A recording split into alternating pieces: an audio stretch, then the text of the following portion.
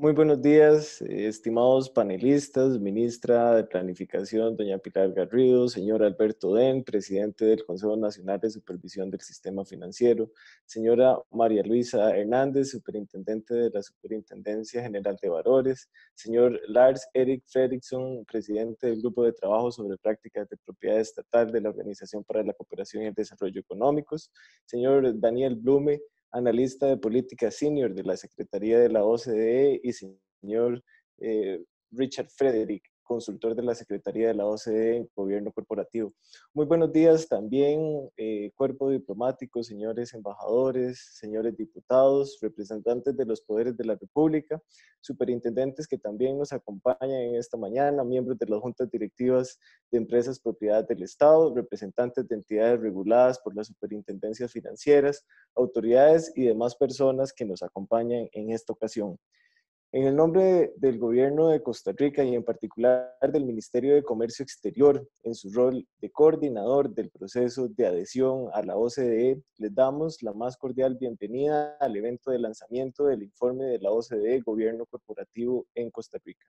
Si bien la pandemia no nos permite realizar este evento de manera presencial, es un honor para nosotros contar con su participación de manera virtual.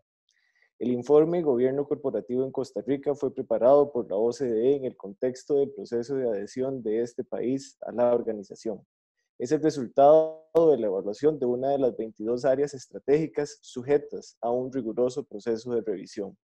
La evaluación estuvo a cargo del Comité de Gobierno Corporativo de la OCDE y de su grupo de trabajo sobre propiedad estatal. Abarcó un análisis de situación del gobierno corporativo, tanto de las empresas propiedad del Estado, a lo que en adelante nos referiremos como EPES, como de empresas listadas que participan en el mercado de valores, tomando como referencia las mejores prácticas establecidas en tres instrumentos jurídicos de la OCDE en la materia. Como resultado de este análisis, la organización emitió recomendaciones para que Costa Rica se acercara a estos estándares internacionales y su implementación estuvo a cargo de dos equipos interinstitucionales. El primero de ellos coordinó el trabajo en materia de EPES y fue liderado por el Comité de Seguimiento de Empresas Propiedad del Estado y por la Unidad Asesora de la Propiedad Accionaria del Estado de la Presidencia de la República. Eh, la ministra Pilar Garrido se referirá a las acciones llevadas a cabo por este equipo. Por otra parte, las cuatro superintendencias financieras y el CONACIF estuvieron a cargo de implementar las recomendaciones en materia de empresas listadas en el mercado de valores. Doña María, Luisa, María Lucía Fernández, superintendente de, de Sujeval, estará a cargo de la presentación de los resultados alcanzados por este equipo. También es importante destacar el rol determinante de la Asamblea Legislativa para lograr la aprobación de cuatro reformas legales que atienden recomendaciones de la OCDE en materia de gobierno corporativo. Quisiera recalcar en particular el gran compromiso y la convicción de los diputados y asesores de la Comisión Especial OCDE, quienes trabajaron arduamente en todo este proceso. Si bien es cierto, aún hay trabajo pendiente, es fundamental seguir avanzando hacia una mejor gobernanza de las EPES y continuar impulsando políticas públicas que sigan los mejores estándares internacionales como los que impulsa la OCDE. Antes de concluir mi intervención, quisiera recordarles que el día de hoy y de mañana se estarán llevando a cabo dos seminarios en los que se abordarán temas de gran relevancia y actualidad eh, en materia de gobierno corporativo, de EPES y de empresas listadas. Esperamos nos puedan acompañar en ambos. También quisiera informarles que el informe Gobierno Corporativo en Costa Rica está disponible desde el día de hoy en la página web de la OCDE, a la que pueden acceder desde el sitio web de Comex. Sin más preámbulo, quisiera darle la palabra al señor Lars Eriksen, presidente del Grupo de Trabajo sobre Prácticas de Propiedad Estatal de la OCDE, quien lideró las discusiones llevadas a cabo en este grupo de trabajo. Sin duda alguna, su guía y colaboración han sido invaluables para el impulso de las reformas alcanzadas. A continuación, escucharemos las palabras del señor Fredrickson. Thank you, Minister Salas. Muchísimas gracias, ministro Salas. Muchísimas gracias. En primer lugar, desearía con gran placer felicitar al Gobierno de Costa Rica por la invitación transmitida por el Consejo de la OCDE a Costa Rica para convertirse en el 38 miembro de la organización. Esta invitación es el resultado de uh, la navegación exitosa de Costa Rica por las 22 uh, áreas técnicas que han sido revisadas uh, por el comité, incluyendo la revisión del gobierno corporativo de Costa Rica, que se tratará en el taller de hoy habiendo sido, teniendo la, habiendo tenido la suerte de ser un participante activo en esta revisión y mi capacidad de presidente del grupo de trabajo de la OCDE sobre propiedad estatal y prácticas de privatización, puedo decir que ha sido un proceso riguroso, largo y exigente. La Secretaría de la OCDE y su equipo a, responsable de la elaboración del informe ha participado en no menos de 10 misiones a Costa Rica desde que el Costa Rica empezó el proceso de revisión para su adhesión en abril de 2015. Yo participé personalmente en varias de estas misiones y pude debatir pormenorizadamente con representantes del gobierno y otras ah, personas y expertos ah, pertinentes ah, del mercado. En este sentido, me gustaría dar un agradecimiento particular a la ministra Mineplan, a señora Vilar Garrido, así como a la superintendente María Lucía Fernández de Sugueval, por el panel de hoy y también por la reactividad del gobierno en este proceso que también ha reflejado en, todo momento su intensa motivación y liderazgo desde el principio. También me gustaría dar las gracias al equipo de revisión para la adhesión de Costa Rica, del gobierno de Costa Rica, que ha sido coordinado por el COMEX y la unidad asesora de las EPEs en la presidencia, que ha respondido a centenares de preguntas y solicitudes de información durante todo el proceso. Ha sido un placer trabajar con todos ustedes. La revisión también involucró a siete debates de revisión a la confidenciales que tuvieron lugar entre 2016 y 2019. Eh, con la publicación de este informe de hoy, tanto en inglés como en español, el resultado de este eh, intenso ejercicio se hacen públicos eh, por primera vez.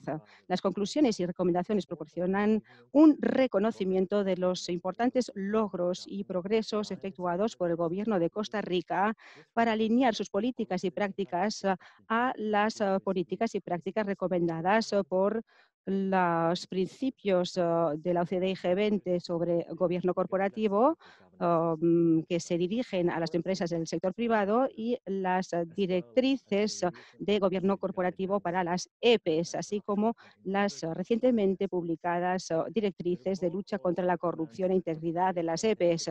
El informe también recomienda que Costa Rica tome pasos adicionales para reforzar el funcionamiento de su mercado, sus prácticas de propiedad y la gobernación el gobierno corporativo de sus EPEs. Daniel Blume y Richard Frederick presentarán y debatirán esas conclusiones y recomendaciones con mayor detalle. No siempre son pasos fáciles, pero consideramos que eh, resultarán en una mayor transparencia, rendición de cuentas y mejor rendimiento del sector privado de Costa Rica y de sus EPEs, lo que eh, a su vez eh, mejorará los servicios que sean de mayor calidad para sus ciudadanos y a menor coste y también mm, permitirá obtener mejores resultados fiscales.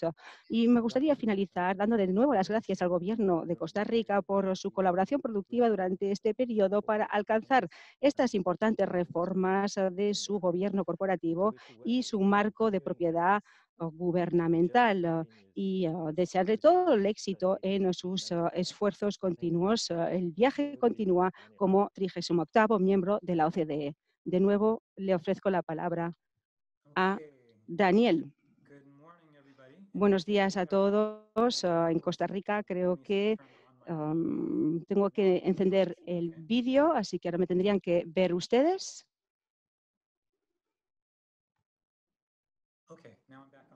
Bien, vuelvo a estar aquí.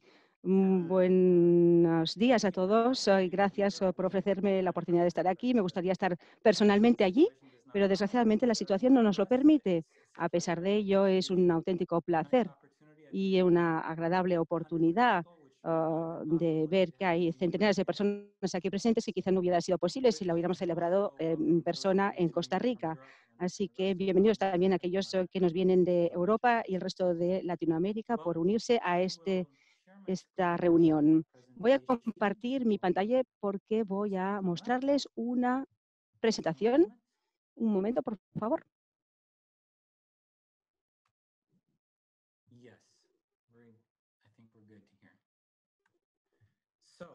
Bien, creo que va a funcionar.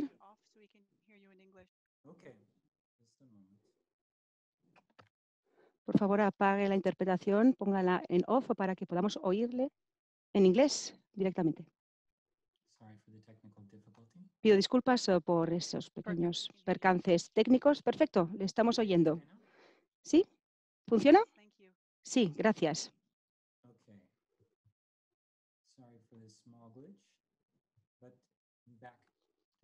Bien, pues uh, empecemos de nuevo por el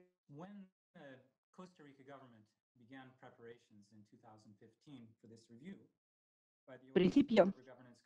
Pido disculpas. Tenemos aquí la revisión de adhesión sobre gobierno corporativo de Costa Rica. Es uh, un auténtico reto el uh, cómo demostrar su disposición y capacidad para implementar políticas y prácticas coherentes con las uh, mejores prácticas y políticas de los países miembros de la OCDE en el ámbito del gobierno corporativo y en particular con los principios de gobierno corporativo del G20 y OCDE que se centran en las empresas del sector privado y también con respecto a las directrices de la OCDE sobre gobernanza corporativa de empresas de propiedad estatal y se eh, añadió un elemento adicional en esta revisión, puesto que oh, se emitieron las directrices de la OCDE sobre la lucha contra la corrupción y la integridad en las empresas de propiedad estatal. Estas ah, ah, recomendaciones oh, de la OCDE son mundialmente conocidas por ser las principales normas utilizadas por organizaciones internacionales como el Banco Mundial, los bancos regionales de desarrollo y, por supuesto, la OCDE para evaluar y promover la buena gobernanza corporativa en países de todo el mundo son uno de los uh, estándares más uh, ambiciosos que se puedan imaginar. El gobierno costarricense tenía pues mucho trabajo por delante para afrontar todos estos desafíos. Para empezar, recordar que tengo unos 15 minutos y me gustaría empezar con el diagnóstico inicial para las empresas de Costa Rica que cotizan en la Bolsa de Valores uh, del país. Antes de empezar a hablar del gobierno corporativo propiamente dicho, creo que es importante recalcar, en primer lugar, que hay pocas ah, empresas listadas eh, que cotizan en la Bolsa de Valores costarricense, unas 10 en total. Y los oh, principios de gobierno corporativo sola, solos no pueden ah, abordar todo el problema porque hay muchos ah, retos cuando el mercado es tan pequeño, porque puede socavar los incentivos de los accionistas.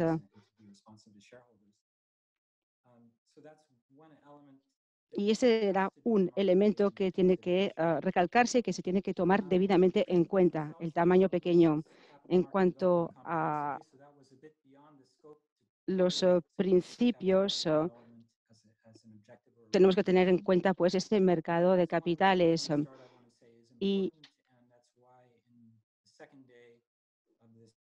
En el segundo día de este, um, esta reunión habrá un seminario que se centrará en este mercado de capitales, uh, puesto que es un elemento fundamental para que el mercado costarricense funcione efectivamente. Dicho esto,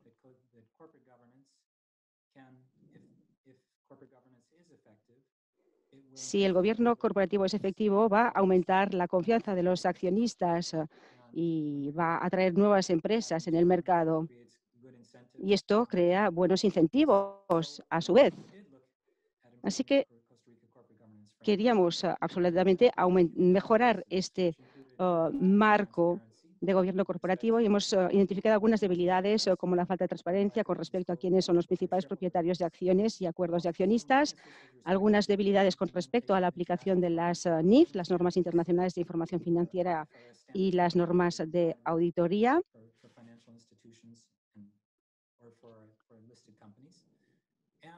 y también algunas debilidades en lo que se refiere a la profesión de la auditoría. Y por último, uh, se identificó la necesidad de modernizar el marco de Costa Rica para el tratamiento de empresas insolventes. Este era pues el diagnóstico inicial. Y ahora Costa Rica tiene que uh, tomar acciones y, bueno, lo hizo rápidamente desde el principio del uh, proceso con una adaptación de su reglamentación para responder a los principios y directrices. También se aclararon las expectativas en lo que se refiere a la divulgación de los acuerdos, reduciendo también las debilidades que habíamos identificado en el marco legal y también uh, se mm, efectuaron reformas legislativas para fortalecer las facultades de supervisión con respecto a la profesión de auditor y también en lo que se refiere al acceso a la información sobre los propietarios beneficiarios eh, con fines eh, de observancia. También se aplicó gradualmente un nuevo sistema de supervisión basada en el riesgo y las reformas legislativas eh, están en, pleno debate actualmente en el Congreso de Costa Rica para poder reformar el marco de insolvencia y ello también va a progresar como un paso adicional. Así que hay grandes avances en el uh, sector privado, sin duda alguna.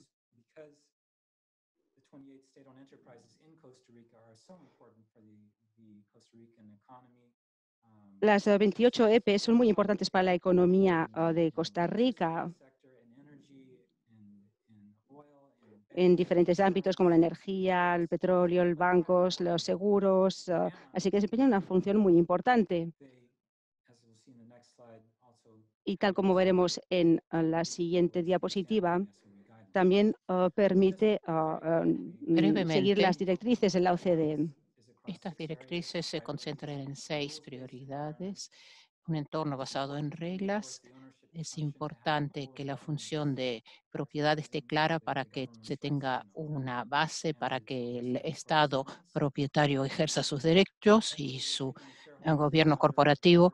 Un tratamiento equitativo de los accionistas es importante, pero eh, en Costa Rica no hay eh, accionistas minoritarios, así que está todo claro. No sé si hay una interferencia, transparencia, relaciones entre eh, interesados y luego el directorio, el organismo de más alto nivel para tomar las decisiones que debe ejercer eh, su potestad. ¿Cuáles son los puntos flojos que identificamos para las CEPES de Costa Rica? En cuanto a la propiedad, en Costa Rica se aplica un enfoque descentralizado a la propiedad y el control de las EPES. Hay eh, cinco instituciones, la Presidencia, el Ministerio de Planificación y Desarrollo, el Ministerio de Finanzas, el Controlador General, que cada cual desempeña su papel específico, lo cual es posible, pero de manera central no se podía rastrear e incentivar el rendimiento de las EPEs, eh, es decir, no estaba en la función de coordinación y supervisión general. Tampoco había estructuras oficiales para las designaciones al directorio y a veces había políticos o personas con eh, fondo político que formaban parte de las juntas directivas. Mm, hubo una serie de escándalos eh, en relación con las CEPES, lo cual eh, señaló justamente los puntos flojos en el control y el cumplimiento centralizado. Y las CEPES tampoco se atenían a las normas internacionales de información financiera, por eso no se sabía en realidad cuál era eh, su situación financiera y su eh, desempeño financiero exacto y no se podía comparar a escala internacional. Y notamos que había, había un tratamiento distinto entre los bancos de Estado y el sector privado en límites para su operación y por eso no había igualdad de condiciones eh, para los bancos del sector privado y esto eh, socavó eh, la competitividad, competitividad plena en el sector bancario. Bien. El gobierno de Costa Rica eh, tomó medidas para reaccionar a estas recomendaciones y este diagnóstico del grupo de trabajo. Ha creado una unidad asesora en la presidencia para ayudar a la presidencia y el Consejo de Ministros para que ejerzan su propiedad. Esta reforma fue fundamental, fue un primer paso muy importante porque dio la capacidad que faltaba para iniciar toda una serie de reformas que aquí enumeramos, que no voy a detallar porque me falta tiempo, pero aquí las ven simplemente para ver el alcance de estas reformas. el papel y la capacidad eh, del propietario, las reformas eh, para la designación de los miembros de la junta directiva de las EPES, ante todo para que sean las personas más capaces y que no haya politización, eh, mayor transparencia, pasar a las NIF, a las normas internacionales, luego mm, capacitación, eh, para los miembros de las juntas directivas, establecer un programa de seguro de depósitos para los bancos. Excelente medida en el sector bancario. Son eh, reformas eh, considerables. Y diré que es un logro que ha cambiado la supervisión de las empresas costarricenses y también su desempeño y eh, cabe felicitar a Costa Rica por todo lo logrado y todos los esfuerzos desplegados. Pero Obviamente no se asombrarán si les digo que no está todo hecho, pero eso vale para cualquier país miembro de la OCDE. Las eh, directrices para las EPEs eh, son un objetivo al cual no todos han llegado plenamente, si hay cosas para mejorar, así que también teníamos recomendaciones que emitir que habrá que atender en los próximos dos años para seguir por este buen camino y aplicar eh, las normas internacionales de información financiera, desarrollar un sistema para establecer un monitoreo eh, eh, de los objetivos de desempeño financiero no financiera, luego desarrollar y aplicar políticas de confidencialidad, porque no toda la información debe mantenerse confidencial, otra sí. Luego, retirar al ministro de Agricultura de la Junta Directiva, reformas en las compras públicas para lograr un proceso más coherente y más transparente con igualdad de trato, luego adelantar en cuanto a la aplicación de iniciativas para fortalecer las juntas directivas de las EPES y revisar eh, las remuneraciones para que los incentivos correspondan al desempeño. Y en último lugar, cuatro reformas deseables a más largo plazo. Costa Rica ya tiene mucho que hacer eh, de aquí a dos años pero eh, hemos definido estas reformas adicionales eh, porque tal vez se puedan conseguir a más largo plazo y habría que examinarlas. Un marco jurídico más coherente, porque a veces la ley nacional aplica restricciones a las EPES y quisiéramos que el marco sea igual para todas las empresas de Estado. Luego, eh, reformas jurídicas para eh, fortalecer las juntas directivas y también las designaciones. Y necesitamos varios nuevos miembros em, de las juntas directivas eh, por etapa. Luego, mm, separar la presidencia de la gerencia y eh, definir una igualdad de trato entre el sector público y el privado y finalmente definir y evaluar eh, objetivos de información eh, para cada cual de las empresas. El señor Frederick es el autor principal del informe y les dirá ahora por qué estas reformas son tan importantes y qué es lo que podría significar para Costa Rica en el futuro. Así que una última diapositiva esta es la tapa de la publicación que hoy eh, salió. Muchas gracias.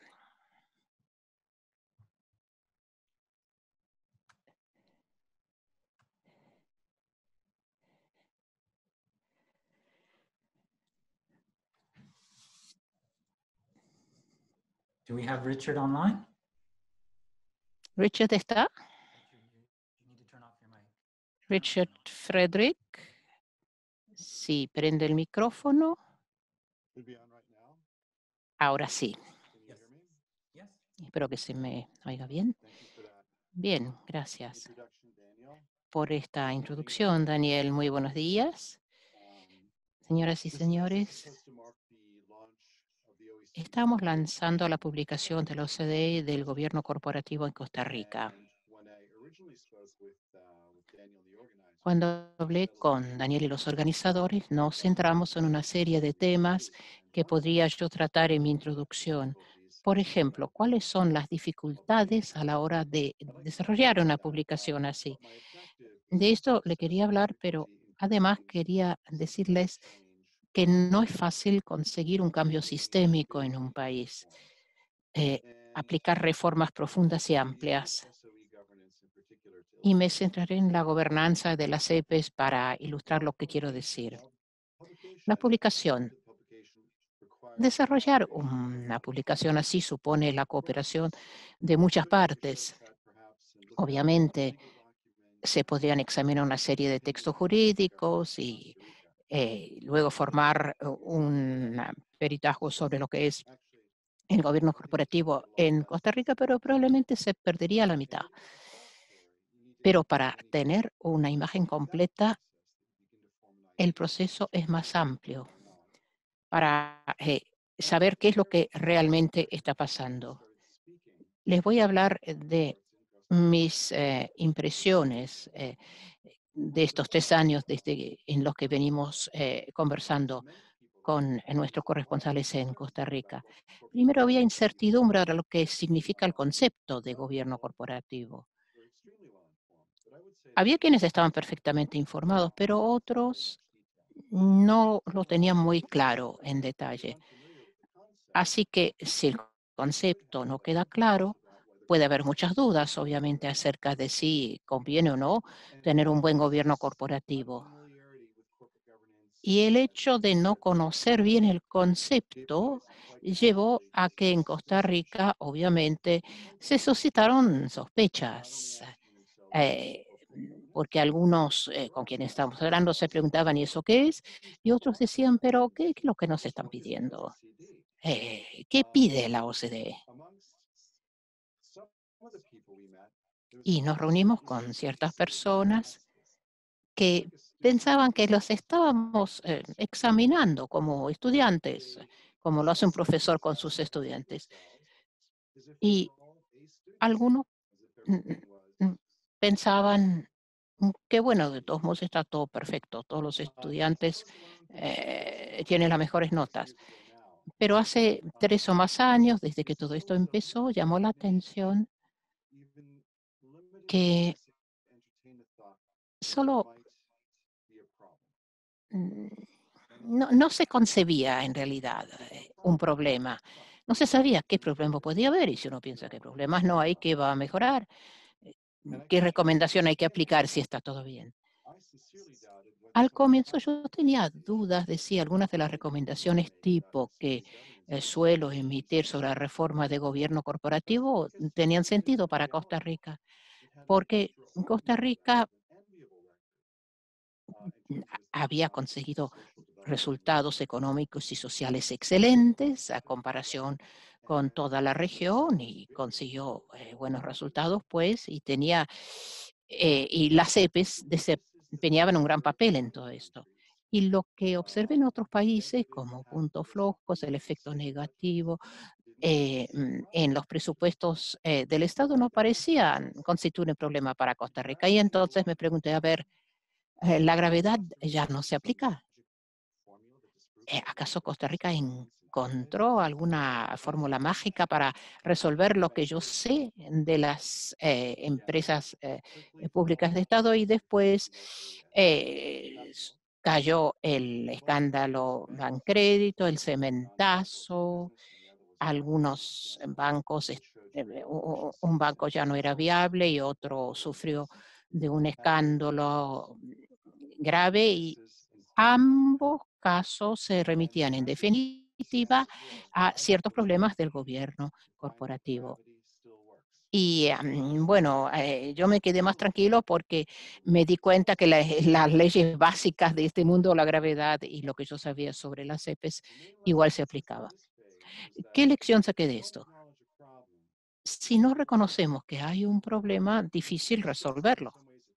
Los dos escándalos fueron como reveladores, porque ahí eh, empezó a quedar más claro lo que era el gobierno corporativo y qué efectos podía tener. Así que eran momentos fundamentales.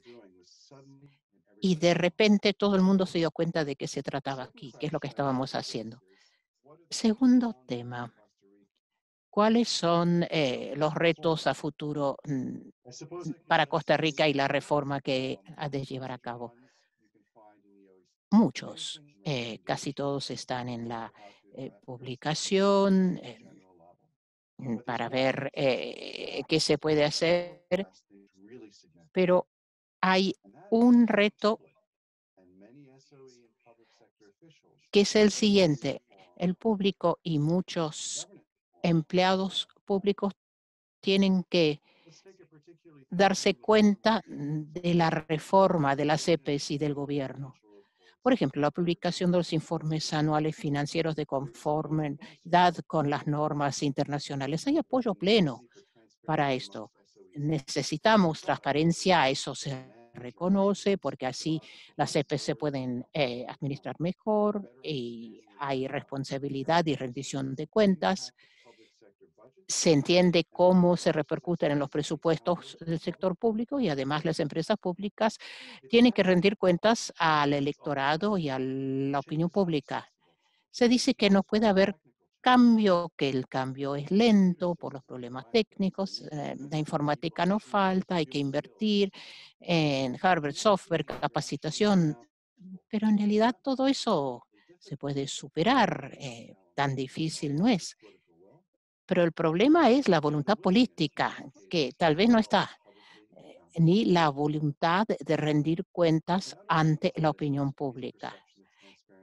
Y la base de todo esto podría ser que se piensa que la transparencia es un peligro. Pero en definitiva, el problema mayor es quedarse tan contentos con lo que uno hace, que ya está muy bien, que por qué no seguir igual que antes en el futuro también. Y aquí creo que hay que cambiar de actitud fundamentalmente. Le doy un ejemplo eh, de lo ecológico, la sostenibilidad medioambiental, por ejemplo. Durante decenios la actividad eh, de los efectos de la humanidad del medio ambiente se conocía, pero no se tomaba en serio. Y ahora sí nos damos cuenta que es de importancia existencial, pero es muy reciente todo esto. Así que hemos perdido años y años en que ya hubiéramos podido eh, empezar a resolver este problema. Y esta situación, a mi entender, es muy semejante con la, eh, que la sostenibilidad eh, de las CEPES. la sostenibilidad del medio ambiente supone reconocer el problema y estar dispuestos a cambiar. Aquí también necesitamos una nueva gobernanza, un nuevo tipo de administración de empresas porque si no lo hacemos va a pasar lo que está pasando con el medio ambiente. Vamos a llegar a un punto tal que eh, las medidas sencillas que se hubieran podido tomar antes se hacen muy difíciles y muy costosas por haber dejado pasar el tiempo. Las organizaciones también me pidieron tratar un último tema. ¿Qué eh, diferencia se consigue con un buen gobierno corporativo? Bueno, lo acabo de explicar. La salud y la sostenibilidad de las CEPES es lo que está en juego pueden tal vez seguir con las prácticas actuales un buen rato, pero van a quedar más débiles, menos viables y ya no podrán contribuir de la misma manera a la economía de Costa Rica y al bienestar del pueblo costarricense. Para mí no se trata solo de la sostenibilidad medioambiental, que hay que atender también la salud y la sostenibilidad eh, de las empresas públicas de Estado. No se trata solo de reducir costos, de desemplear, de reducir costos sociales fundamentales. Simplemente No es aceptable que no haya controles, que sean ineficientes, que los servicios sean demasiado costosos, que no haya rendición de cuentas ni modelos adecuados de la empresa. Y para concluir, uno de los mayores retos consiste en dar información adecuada y solo se puede conseguir con informes financieros regulares y actuales y correctos auditados por eh, auditores externos cualificados e independientes. En fin, ningún médico que diagnostica al paciente eh, piensa en, no ayudarle. Eh, nosotros hemos de comunicar mejor al público todo el, lo que es la situación, si eso no es un peligro. Honestidad sincera y transparente y justa la responsabilidad social de la empresa. Muchísimas gracias por su atención.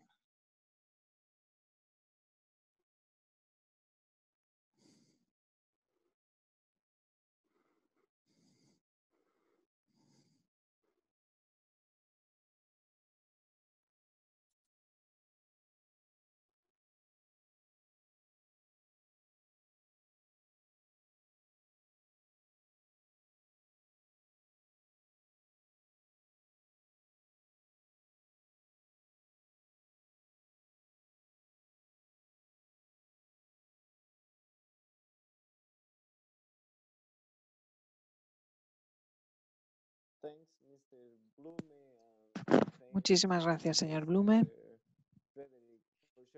Gracias también a Frederick por compartir con nosotros las principales conclusiones de la evaluación llevada a cabo por la OCDE. y acompañamiento que tanto ustedes como la Secretaría de la Organización le brindaron a Costa Rica desde la primera misión exploratoria en nuestro país en octubre de 2015 hasta la obtención de la aprobación formal en octubre de 2019. Sus aportes fueron una guía para alcanzar un número considerable de reformas legales y administrativas que hoy en día nos acercan cada vez más a los mejores estándares internacionales de gobernanza de las EPES y de las empresas listadas en el mercado de valores.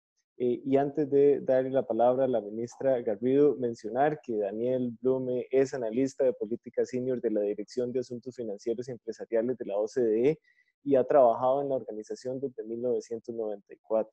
El señor Blume se especializa en gobierno corporativo de economías emergentes y lidera múltiples iniciativas de la organización en la materia, como la Red Latinoamericana de Gobierno Corporativo de Empresas Públicas y el Libro de Datos de Gobierno Corporativo de la OCDE, que compara políticas y marcos jurídicos de los países miembros de la organización y del G20. El señor Blume estuvo a cargo de las evaluaciones en materia de gobierno corporativo de los últimos países en convertirse miembros de la OCDE. Por otra parte, el señor Richard Frederick es consultor experto en gobierno corporativo y fue contratado como consultor externo por la OCDE para la elaboración de este informe. El señor Frederick trabajó en la organización desde el año 1992 eh, al 2001 y fue uno de los redactores principales de la primera versión de los principios de gobierno corporativo de la OCDE. También contribuyó en la redacción de otros instrumentos legales de la organización, tal como las directrices de la OCDE sobre el gobierno corporativo de las empresas públicas. Además, ha apoyado a múltiples países en reformas a sus marcos legales en materia de gobierno corporativo en calidad de asesor del Banco Mundial.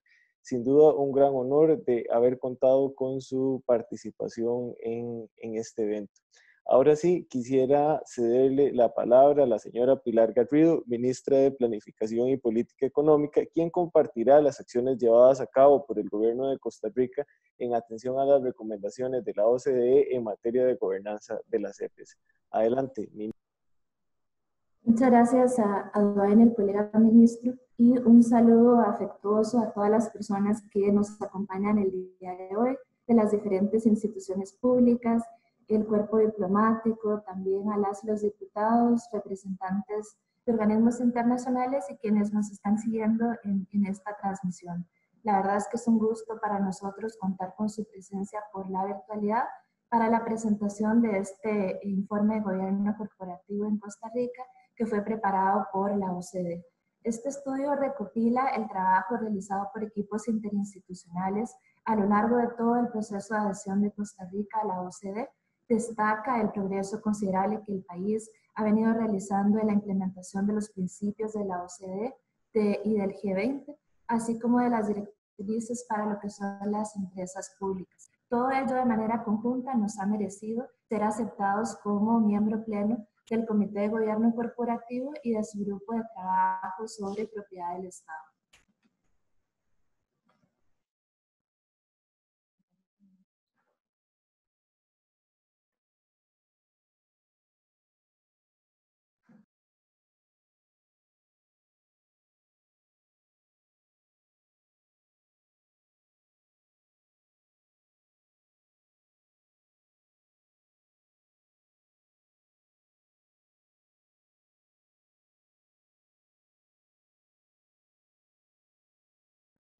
Un poco lento.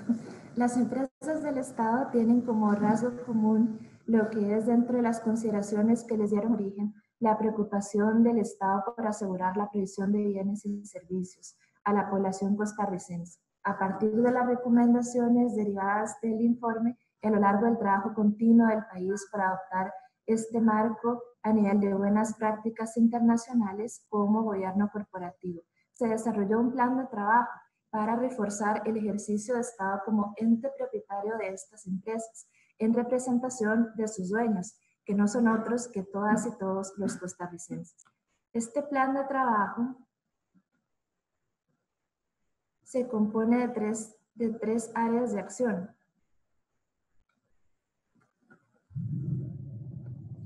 Eh, la número uno, vamos a ver por qué no estará pasando. La número uno, que es el ejercicio activo de la propiedad, transparencia y rendición de cuentas y la profesionalización de las juntas directivas. Eh, en la primera área podemos destacar tres elementos clave. La creación de la unidad asesora para la dirección y coordinación de la propiedad accionaria del Estado y de la gestión de las instituciones autónomas por medio de eh, este decreto. Este equipo viene a suplir la necesidad real de promover una mejora continua en el marco de la relación con las empresas públicas estatales y del Ejecutivo desde la perspectiva de propietario, así como de la manera en que se asigna la autoridad y se toman las decisiones corporativas en las empresas del Estado. La segunda, la publicación del protocolo de, de entendimiento de las relaciones entre el Estado y las empresas propiedad del Estado la política del Estado respecto del direccionamiento político de estas entidades, cuyo objetivo es ser un marco orientador que plasma las buenas prácticas de gobierno corporativo y los objetivos que persigue el Estado como propietario de estas empresas, y un avance inicial hacia una mayor igualdad de condiciones entre empresas públicas y privadas que participan del mercado de competencia, con el establecimiento del Fondo de Garantía de Depósitos, que tiene como objetivo respaldar el dinero de los ahorrantes por hasta 6 millones de colones y en cualquier entidad del sistema financiero nacional. En la segunda área se destacan el desarrollo y acompañamiento en la implementación de los planes de cierre de brechas en las prácticas contables de las empresas públicas estatales para adoptar el estándar de información financiera internacional más actualizado. De la mano de la actualización también de sistemas informáticos, fortalecimiento de capacidades y asignación eficiente de los recursos humanos y materiales. Esto asegura la calidad y comparabilidad de la información financiera que respalda la gestión de estas instituciones. En segundo lugar, el establecimiento de una política general de transparencia y divulgación. Este instrumento brinda claridad y seguridad al público sobre la disponibilidad y calidad esperada de la información en el contexto de las mejores prácticas de gobierno corporativo. Los datos de su cumplimiento son revelados anualmente por la unidad asesora en su reporte agregado sobre el conjunto de las empresas propiedad del Estado. Este reporte agregado sobre el conjunto de empresas propiedad del Estado es precisamente otro de los hitos alcanzados, un ejercicio de transparencia que busca visibilizar ante la ciudadanía los recursos públicos que se encuentran invertidos en estas empresas, su desempeño financiero y cómo han cumplido con sus responsabilidades publicación de información relevante para el público general. Alto valor en dos vías para la población. Datos actuales, accesibles y comparables relacionados con indicadores financieros y no financieros que reflejan la realidad de las empresas públicas estatales. Y para el Estado, en representación de las y los propietarios, lograr proactividad, actuación oportuna e informada, guiada hacia obtener mejores beneficios de las empresas para la sociedad en su conjunto. En la tercera área, las acciones se centran en el establecimiento del reglamento para nombrar miembros de las juntas directivas de las empresas públicas estatales. Por medio de este decreto, el Poder Ejecutivo establece formalmente un proceso abierto y transparente para la selección de directivos bajo principios de idoneidad y experiencia. La persona interesada puede remitir su postulación por medio del sitio web de la unidad asesora. La implementación del programa de capacitación en gobierno corporativo para las empresas públicas estatales es otro de los grandes temas eh, importantes en los que se ha avanzado. Su objetivo es promover una base de conocimiento que le permita al director asumir un papel activo e informado para apoyar el accionar de la Junta Directiva según las buenas prácticas de gobierno corporativo. En tres módulos de 16 horas cada uno, la capacitación aborda elementos esenciales para un gobierno corporativo de las empresas públicas estatales.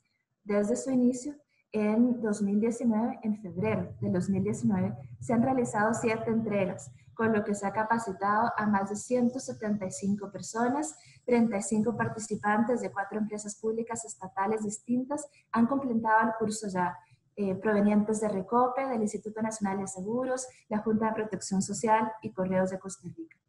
La emisión de una política general para la evaluación del desempeño de las juntas directivas de las empresas públicas estatales es otro de los elementos clave. Este define los parámetros generales para la realización, la entrega, el análisis y el seguimiento de estas evaluaciones de desempeño, así como la definición de acciones de mejora con base en resultados.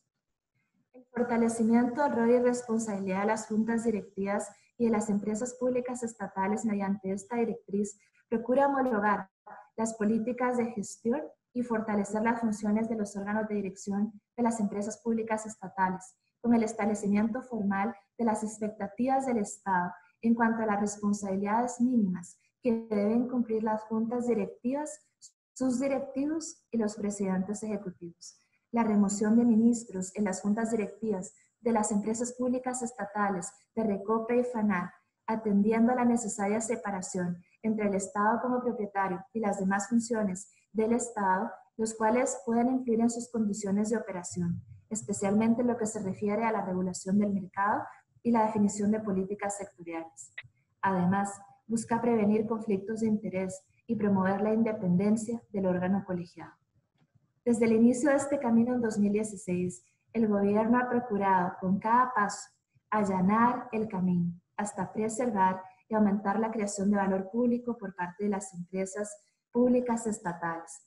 Todo esto con el fin de alcanzar la meta común de un manejo adecuado y oportuno de los riesgos y oportunidades que se presenten en el cumplimiento de los objetivos estratégicos de las empresas del Estado y la labor de sus órganos de dirección.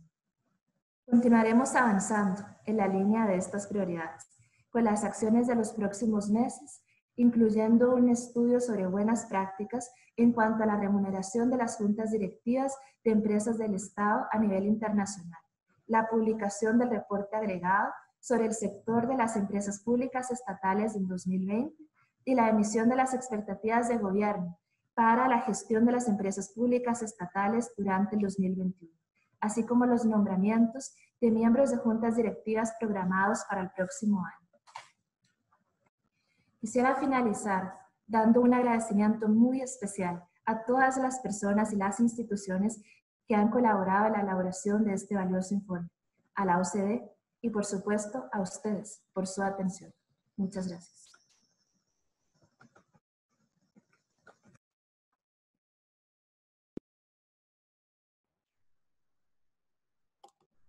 Muchas gracias eh, a la ministra Garrido por su presentación y por este recuento de las acciones llevadas a cabo por el país para mejorar la gobernanza de las EPES. Quisiera igualmente también extender mi agradecimiento y felicitación a la unidad asesora de la propiedad accionaria del Estado por su labor de acompañamiento técnico a las EPES en este proceso. De hecho, don Carlos Elizondo nos acompaña también en, en este evento. Quisiera felicitar también a los miembros de juntas directivas y funcionarios de EPES por su compromiso en acatar la normativa emitida durante los últimos años y por continuar mejorando la gobernanza de las empresas que representan. A continuación, quisiera darle la palabra a doña María Lucía Fernández, superintendente de la Superintendencia General de Valores, SUGEVAL. Adelante, doña María Lucía.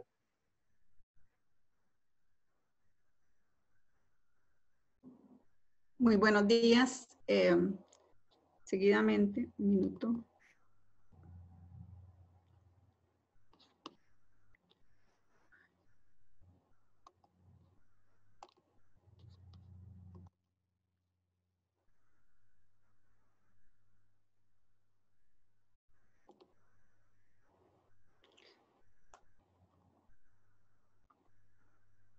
Muy buenos días, eh, señoras y señores representantes de diversos sectores nacionales, invitados de otras jurisdicciones y organismos internacionales, así como delegados y representantes de la Secretaría del Comité de Gobierno Corporativo de la OCDE. En nombre del Consejo Nacional de Supervisión del Sistema Financiero, es un honor para mí presentar las acciones realizadas por las autoridades y entidades reguladas del sector financiero con, en la adopción de las mejores prácticas del gobierno corporativo derivadas de la evaluación de los principios de gobierno corporativo de la OCDE y G20, los cuales son extensivas de manera voluntaria para todo el parque empresarial costarricense.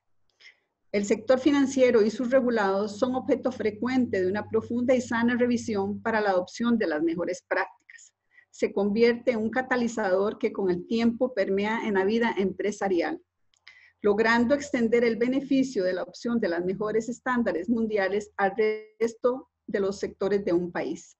Una gobernabilidad eficaz y rendición de cuentas, tanto del sector público como del privado, promueven un clima de confianza en los mercados para su correcto funcionamiento y su crecimiento. Como punto de partida, les comparto dos pilares fundamentales inherentes en el proceso de mejora de nuestras prácticas de gobierno corporativo. El primero es el objetivo propio de los principios de la OCDE y de G20 de favorecer la eficiencia económica, la estabilidad financiera y el crecimiento económico sostenible, objetivo que compartimos y orienta las actuaciones de los supervisados del sistema financiero nacional. El segundo es el factor determinante para el desarrollo de los mercados de capitales. Un buen gobierno corporativo y la transparencia en información provee un equilibrio para la confianza de los inversores y el financiamiento sostenible necesario para el sano crecimiento de las empresas. En particular, la Superintendencia General de Valores, SUGEVAL, tiene un rol relevante para dar atención a los mandatos que nuestra ley reguladora del mercado de valores asigna al señalar que la superintendencia velará por la transparencia de los mercados de valores, la formación correcta de los precios en ellos y la protección de los inversionistas. En el tema central de hoy sobre gobierno corporativo, el país ha fortalecido el marco institucional y regulatorio en cuatro ejes claves. Primero, mejora el marco legal con la reforma a la ley reguladora del mercado de valores en aspectos específicos que abordaremos en adelante. Segundo, se construyó la base legal habilitante para la suscripción del Acuerdo Multilateral de Entendimiento de IOSCO sobre consulta, cooperación e intercambio de información, lo cual es requisito para que Costa Rica se convierta en un miembro signatario junto a la mayoría de jurisdicciones a nivel global. Tercero, en materia de regulación y supervisión, la implementación del reglamento de gobierno corporativo a los regulados. Y cuarto, la adopción de las normas internacionales de información financiera, NIF, para todas las instituciones financieras y emisores de valores. Las reformas fueron posibles con el aporte del equipo técnico de las superintendencias, el ministro de Comercio Exterior y la supervisión del Consejo Nacional de Supervisión del Sistema Financiero y el indudable apoyo, análisis detallado de la Comisión Especial de Asuntos Económicos, Asuntos de la OCDE de la Asamblea Legislativa. Las reformas a la Ley Reguladora de Mercado de Valores junto con las reformas a la Ley Orgánica del Banco Central y la nueva Ley de Supervisión Consolidada marca un hito en la regulación de nuestro mercado financiero. Menciono de estas reformas tres aspectos en relación con el gobierno corporativo. Primero, garantiza a Sujeval el acceso a la información centralizada sobre el beneficiario final de las transacciones financieras de los inversionistas en el mercado de valores. Permitirá contar con información sobre las participaciones significativas y el control de la propiedad de las empresas cotizadas. Busca proteger al inversionista minoritario sobre el control accionario en la toma de decisiones y la divulgación de los conflictos de interés sobre transacciones entre partes relacionadas, entre otros. En segundo lugar, amplía las competencias de Sujeval para obtener y compartir información de la trazabilidad de las transacciones financieras.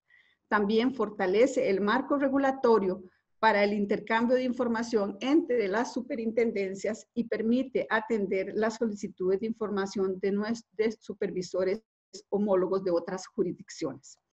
Estas dos grandes reformas constituyen un paso fundamental para el proceso de suscripción del MOU de la IOSCO. Adicionalmente, se incluyen medidas para asegurar la calidad de la información financiera auditada por los auditores externos. Esto se logra al habilitar a los supervisores financieros para imponer sanciones si se detectan vicios o irregularidades en información financiera auditada. La ley de supervisión consolidada permitirá una supervisión integral de las actividades que llevan a cabo los grupos o conglomerados financieros y la homologación de las facultades de supervisión de la superintendencia sobre ellos. La implementación eh, del reglamento sobre gobierno corporativo requirió el desarrollo de las capacidades institucionales y aplicar la supervisión necesaria. Se completó una agenda con acciones de socialización y acompañamiento a los supervisados sobre las expectativas del supervisor y el alcance de las regulaciones aprobadas en un proceso de transparencia y de aprendizaje conjunto sobre los objetivos regulatorios. Este reglamento incorpora un enfoque novedoso de proporcionalidad y da la flexibilidad necesaria para que las entidades desarrollen sus prácticas y procesos de negocio en función de su, de su complejidad y tamaño.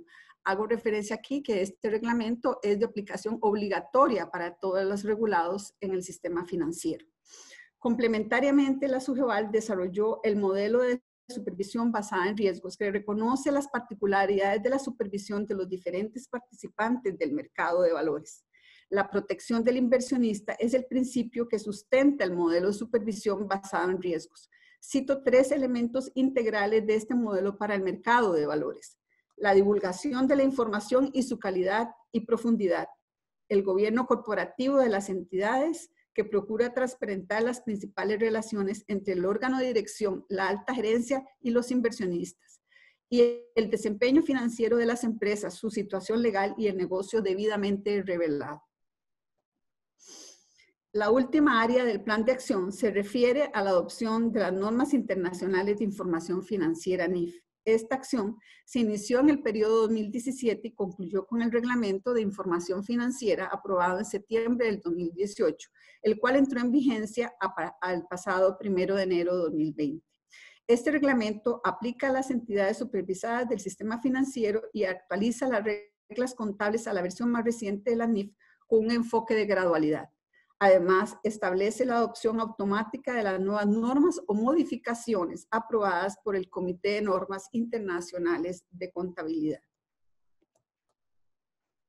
Como pueden ver, hemos recorrido un largo camino en ejecución de acciones para la implementación de los principios de gobierno corporativo de la OCDE y del G20, un proceso caracterizado por sinergias entre las superintendencias, la coordinación y la cooperación mutua con los regulados, legisladores y otras partes interesadas hacia la mejora en la gobernanza empresarial. En las prioridades inmediatas señalo las siguientes. En primer lugar, la cooperación internacional. La SUGEVAL se encuentra actualmente en el proceso de reaplicación y evaluación de los países signatarios para conocer y dar la opinión para que Costa Rica ya quede formalmente incorporada.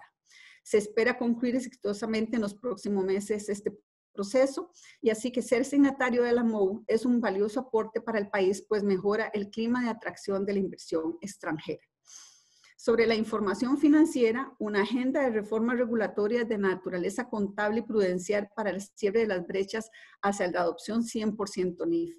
El reto actual es continuar con su implementación, procurando un balance entre la atención de las interrupciones e impactos causados por el COVID-19 y la adopción de nuevos estándares. Sobre la regulación del beneficiario final, la SUGEVAL realiza la revisión y actualización de algunas disposiciones necesarias sobre los servicios de custodia y las centrales depositarias de valores para poder obtener la información hasta el último nivel propietario de las inversiones. Sobre la supervisión basada en riesgos, el proceso de implementación es gradual en un periodo de cinco años, entre el 2020 y 2024, lo cual forma parte de los compromisos institucionales de la SUGEVAL en el Plan Nacional de Desarrollo.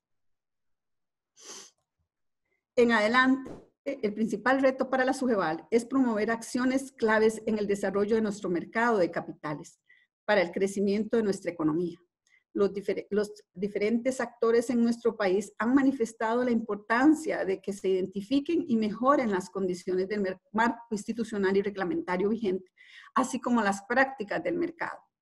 El rol del regulador y la, participación de los diferentes actores del mercado es una discusión no solo observada en el mercado local, sino de amplio debate en países emergentes. Conlleva acciones país para resolver condiciones estructurales y fallas de mercado, se suman también el desarrollo de nuevas tecnologías que implican nuevos retos y transformaciones respecto a los conceptos tradicionales de los productos y servicios financieros de los mercados de valores regulados. Sobre esto, sé que despierta el interés de muchos de ustedes que están hoy aquí escuchándonos. Será abordado el día de mañana y para lo cual les extendo la invitación. Contamos con la colaboración de invitados locales e internacionales que nos apoyarán en esta discusión y a partir de ello nos puedan fortalecer la hoja de ruta que la SUGEVAL se ha planteado. Para concluir, quisiera resaltar el fuerte compromiso del CONACIF y las superintendencias para continuar con las acciones que forman parte de nuestra hoja de ruta para los próximos años y mantener un compromiso real en la adopción de los mejores estándares internacionales de gobierno corporativo para fortalecer, como bien lo dijo Daniel, es fundamental y Richard también, sobre los mercados financieros, que coadyuve a la credibilidad y a la confianza en estos mercados, todo para mantener la estabilidad del sistema financiero y el crecimiento de la economía. Agradecemos a la Secretaría de la OCDE por el apoyo que nos ha brindado a lo largo de este proceso, así como todos aquellos que han sido parte importante en esta aprobación de nuestro Comité de Gobierno Corporativo. Muchísimas gracias.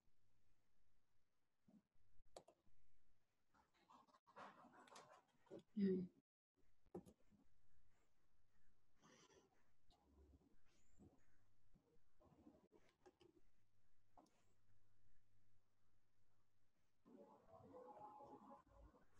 Muchas gracias eh, a la superintendente, doña María Lucía Fernández, por su resumen de las acciones llevadas a cabo para continuar con la adecuada implementación en el país de los principios del gobierno corporativo de la OCDE y del G20 y además quisiera felicitar a su GEVAL, a las demás superintendencias financieras y al CONACIF por todo el trabajo llevado a cabo durante los últimos años.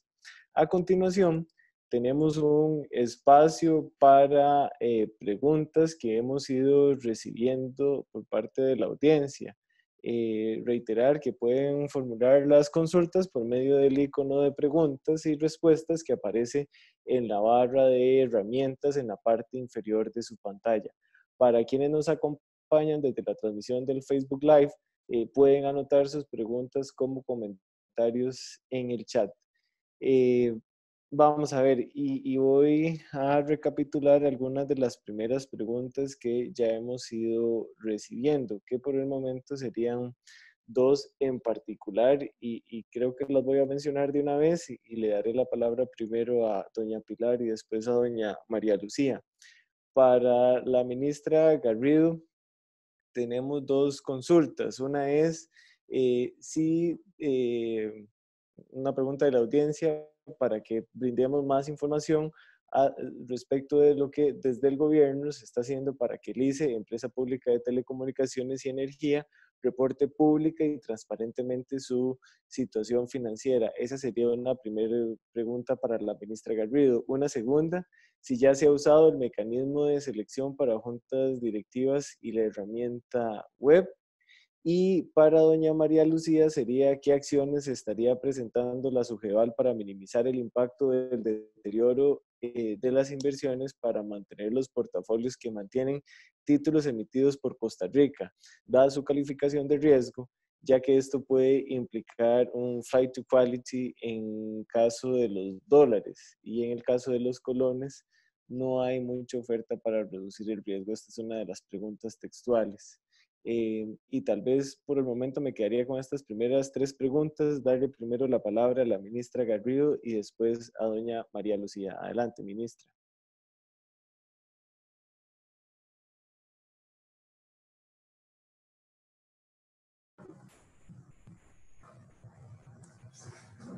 Hay, hay un tema con mi video que el, que el hospedador tiene que habilitar, pero puedo ir avanzando en, en la respuesta. Eh, lo primero es que el ICE es la empresa pública no financiera más grande en términos de patrimonio, con 4.595 millones de, de, dólares. Ahora ya se habilitó. Y este, por ende es, es vital para nosotros la salud financiera de esta empresa pública no financiera.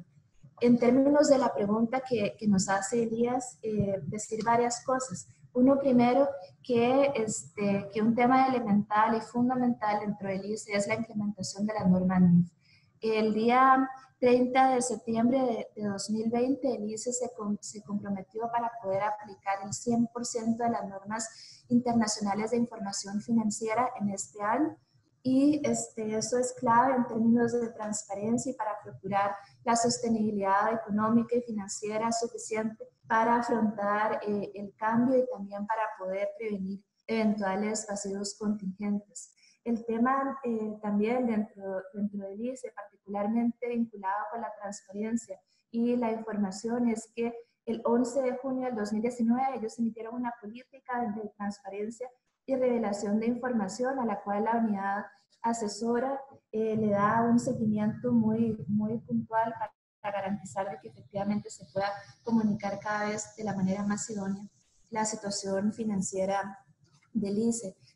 Esperamos que estas transformaciones en conjunto también con la hoja de ruta no solamente nos ayuda a la implementación y mayor transparencia en términos financieros de esta empresa pública estatal, sino que también nos ayude a poder dinamizar dentro de lo que tiene que ver con los objetivos de valor público, dinamizar un poco más eh, la, la, lo que es la competitividad país vía reducción de tarifas que también se estarían autorizando para enero del, del 2021.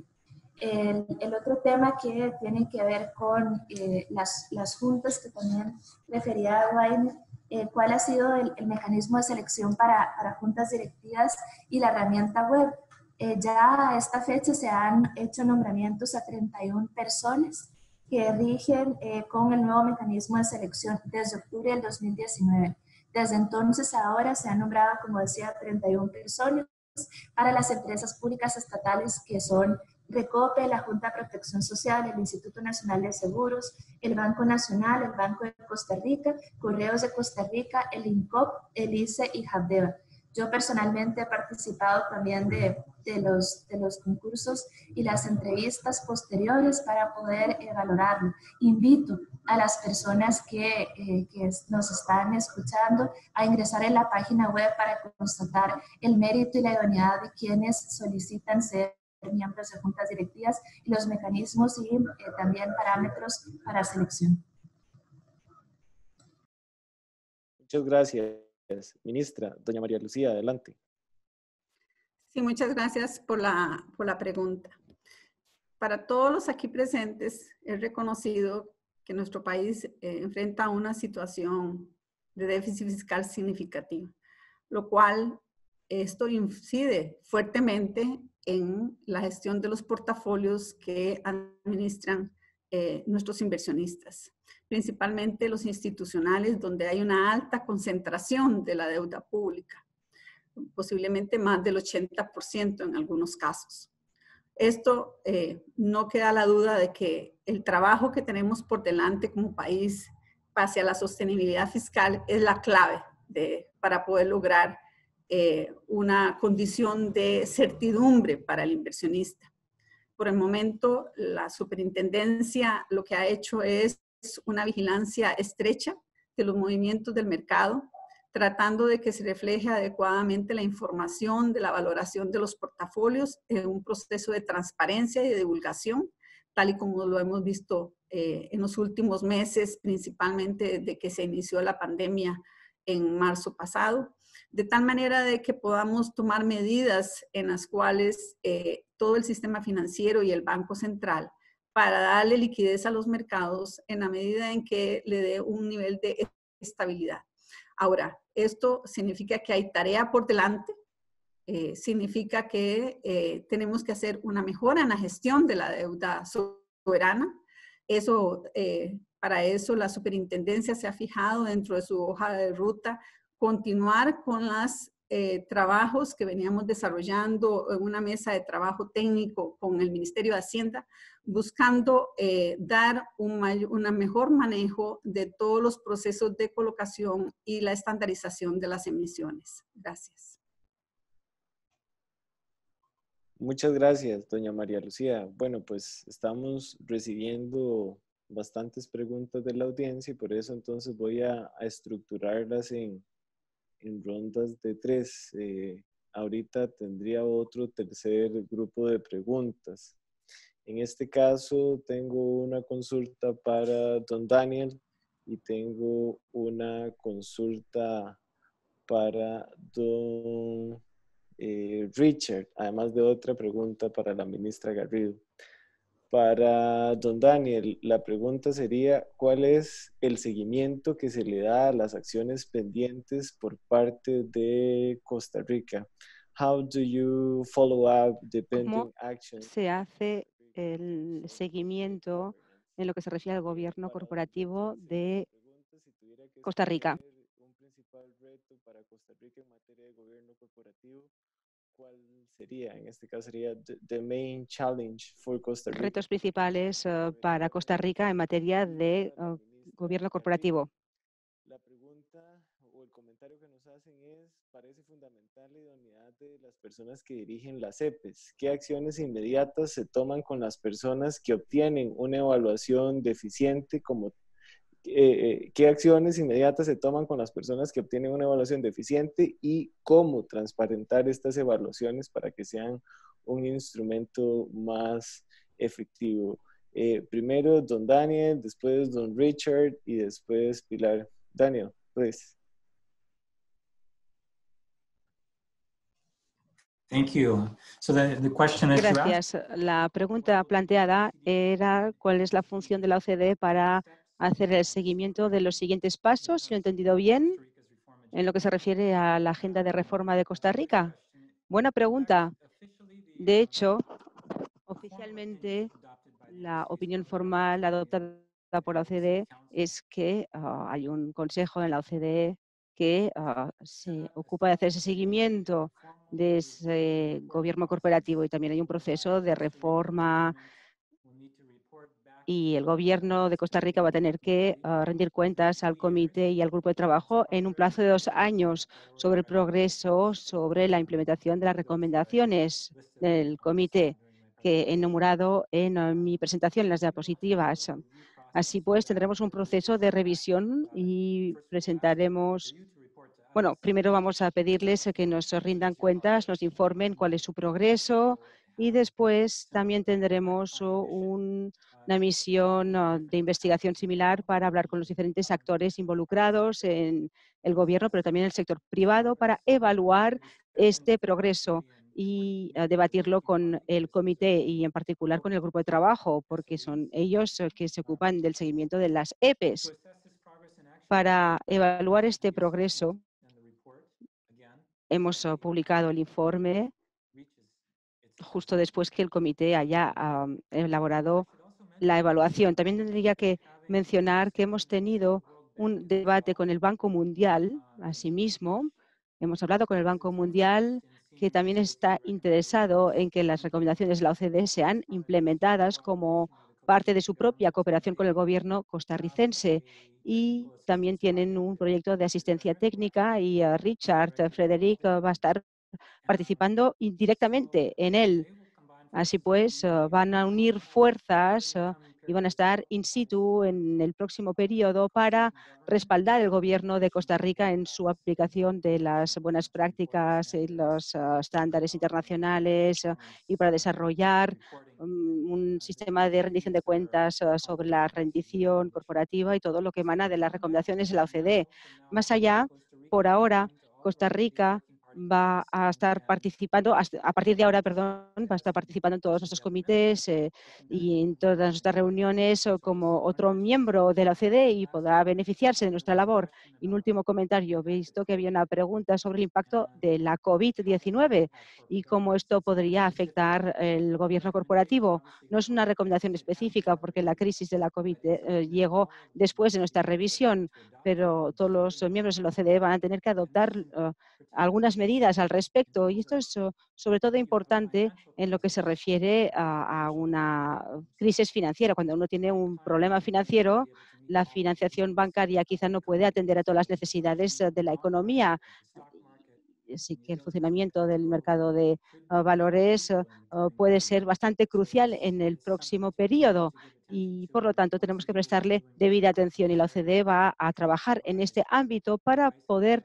proporcionar orientación y asesoramiento a los países, incluyendo a Costa Rica. Este es otro aspecto que quería comentar sobre las preguntas hechas. Gracias. Gracias, señor Daniel Blume doy la palabra a continuación al uh, señor Frederick. Tiene usted la palabra. Muchas gracias por esta pregunta. ¿Qué era? ¿Cuál sería el reto principal que yo pienso que habría que ahondar?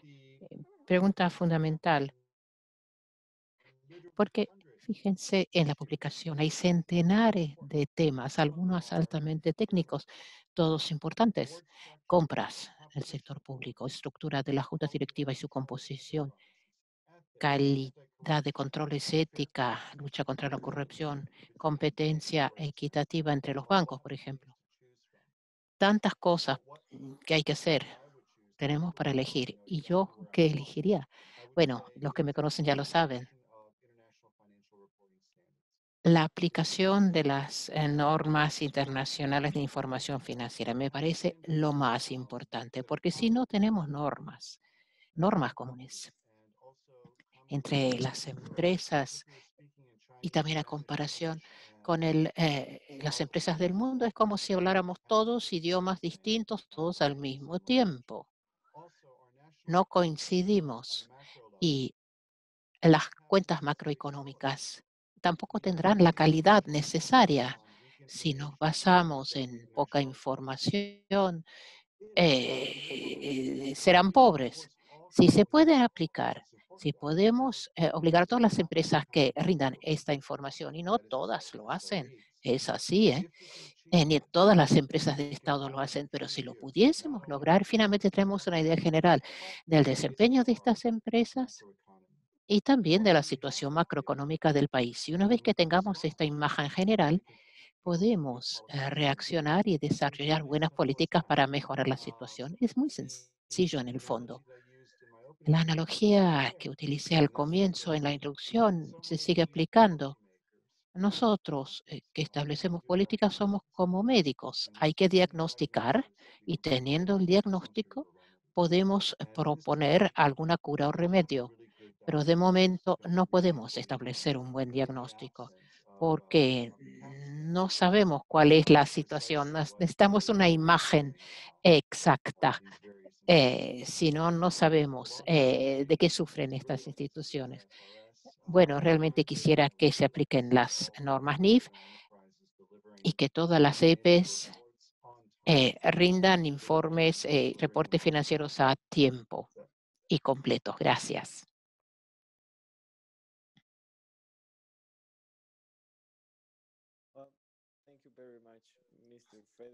Muchas gracias, señor Frederick.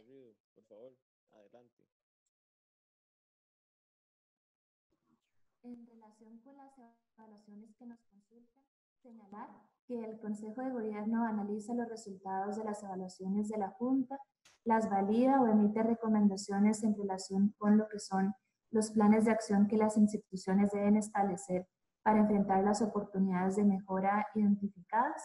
Una vez conocidos estos planes, este, pues, serán, son también de conocimiento público y se pueden consultar en el sitio web de la unidad. De estos planes se les da seguimiento las acciones con base en los resultados de la, de la siguiente evaluación.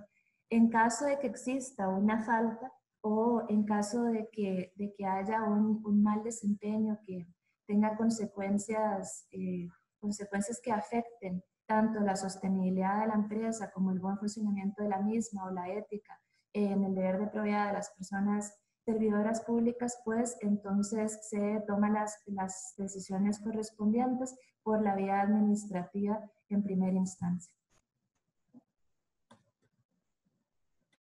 Muchas gracias, ministra. Eh, agradecer también a todas las personas que nos han continuado enviando preguntas. Vamos eh, tal vez a tomar una más que sería para lo que tendríamos chance y sería nuevamente para el señor Frederick y sería cuál es la experiencia de la OCDE sobre la operación del gobierno corporativo en EPES que se encuentran en mercados en competencia.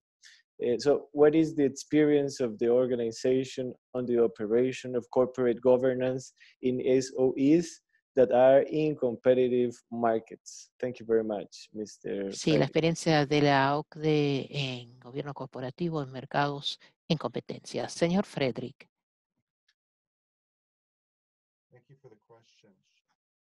Gracias por la pregunta. Para empezar, diré que al examinar a Costa Rica, nos fijamos mucho en la competencia leal, de la competencia libre en que funcionan las EPEs. Sin duda alguna, la competencia eh, leal y equitativa es de fundamental importancia para el país y para el desempeño de las EPEs. Si la competencia leal está dada, entonces hay incentivos para que las CEPES apliquen los criterios de buen gobierno corporativo. Tiene un efecto muy positivo en su desempeño y forma parte integrante de un plan de mejora del rendimiento de las empresas del sector público. Cuando no hay competencia ya se complica mucho podrían ser empresas que casi son monopolios nacionales, las telecomunicaciones lo eran antes, o la distribución energética, que tienen redes que de hecho son monopolios eh, nacionales naturales. Eso lo examinamos. Y también hicimos un par de recomendaciones para crear igualdad de condiciones entre el sector público y el sector privado, cosa que nos parece de fundamental importancia.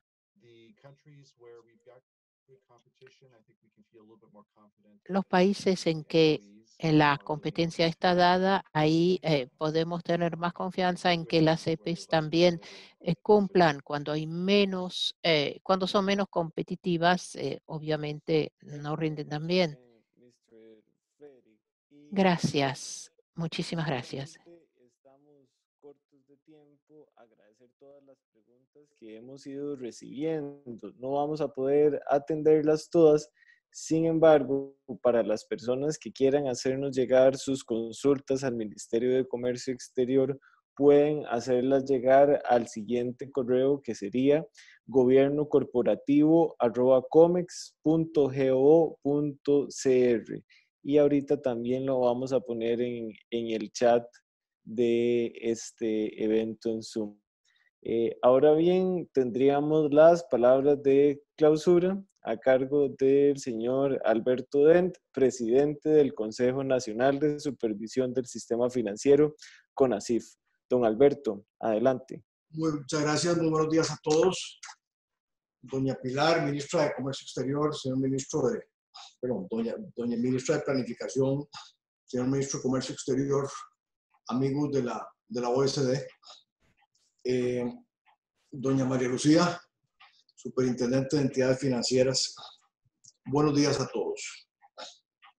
En nombre del Consejo, del Consejo Nacional de Supervisión del Sistema Financiero, deseo agradecer al Ministerio de Comercio Exterior, al Ministerio de Planificación Nacional y Política Económica y a la Organización para la Cooperación y el Desarrollo Económico por invitarme a ofrecer unas palabras en este importante evento. Agradezco igualmente a la OCDE y a todas las personas, especialmente a los funcionarios del CONACIF y de las superintendencias, que contribuyeron a la elaboración de este primer informe de revisión sobre gobierno corporativo en Costa Rica.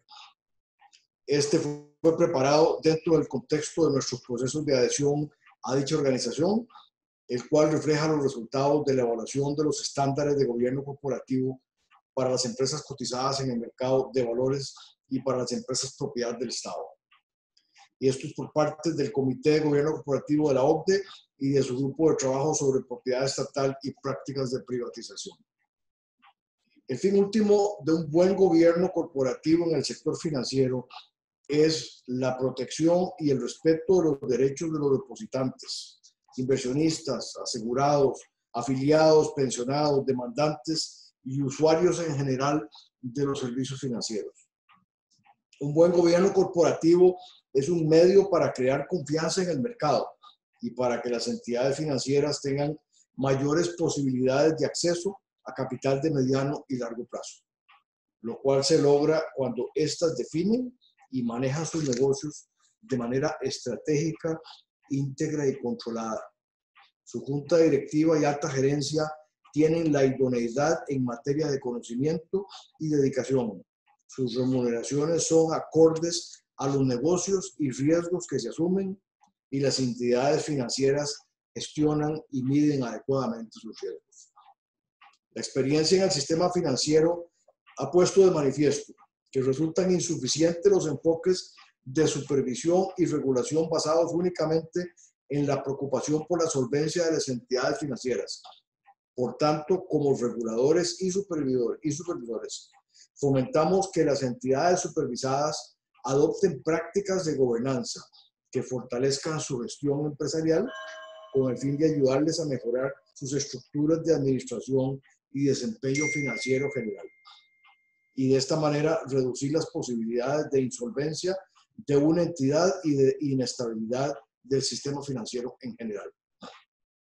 Es por ese motivo que el CONACIF en junio del 2009 promulgó el primer reglamento de gobierno corporativo aplicable a todas las entidades supervisadas por las superintendencias del sistema financiero.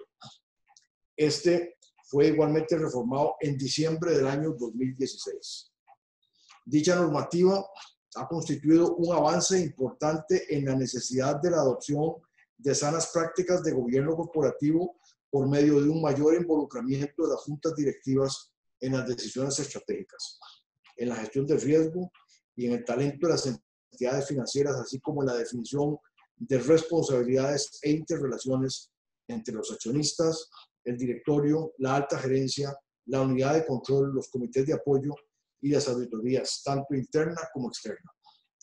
Asimismo, fomenta la adopción de sistemas de gobierno corporativo que funcionen eficazmente y que permitan elevar los niveles de transparencia, rendición de cuentas, supervisión a las juntas directivas y respeto a los derechos de los inversionistas y de los accionistas. Las superintendencias se encuentran en un proceso de transición de su modelo de supervisión a uno basado en riesgos. Y en este, y en este tipo de modelos, la evaluación del gobierno corporativo es fundamental para determinar si éste contribuye a mitigar los riesgos que poseen las entidades financieras o si por el contrario los incrementa y son una fuente de riesgo adicional. Como lo vimos en esta mañana, en el transcurso del proceso de revisión para la adhesión de Costa Rica a la OCDE, el país tomó otras medidas significativas para alinear su marco y prácticas de gobierno corporativo con los estándares de la OCDE. De esta manera, se aprobó una nueva regulación sobre información financiera que requiere que las entidades financieras hagan la transición a las normas internacionales de información financiera conocida como las NIFs. Y se promulgó una ley que para permitirle a la SOGEVAL tener acceso a la información sobre los beneficiarios finales con propósitos de cumplimiento. Asimismo, la Asamblea Legislativa aprobó la legislación sobre la creación de un esquema de seguro de los depósitos, con el fin de avanzar hacia una igualdad de condiciones entre los bancos propiedad del Estado y los bancos del sector privado. Más allá del sector financiero, Costa Rica también demostró su compromiso en la implementación de una mejor gobernanza en las empresas propiedad del Estado, mediante el establecimiento de una unidad asesora de la propiedad accionaria del Estado en casa presidencial. El informe presentado en esta oportunidad contiene una serie de recomendaciones cuya implementación asegurará una mejora continua en el país en materia de gobierno corporativo. Adicionalmente, como miembro de la OCDE, tendremos la gran oportunidad de beneficiarnos de las experiencias y del conocimiento de sus pares, lo cual contribuirá a acercarnos aún más a los estándares internacionales en gobernanza. Y esto iría en beneficio de nuestro, de nuestro sistema financiero y obviamente de la sociedad costarricense. Deseo nuevamente agradecer a la OCDE, a las autoridades del gobierno de Costa Rica y a todas las personas que nos acompañaron y contribuyeron en esta ocasión. Muy buenos días y muchas gracias.